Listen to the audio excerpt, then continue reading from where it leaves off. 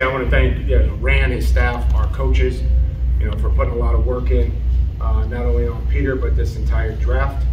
Um, so far, an amazing process. You know, exactly where we were yesterday in some of the, the scenarios, um, our communication. I have absolutely enjoyed it uh, thus far. We're, we're getting a fantastic player, a physical player, a violent player, got versatility, those, are things that we covet. And, uh, with the durability, I, I know when he grabs people, most of the time they stop moving. So that, that that's really a good thing for an offensive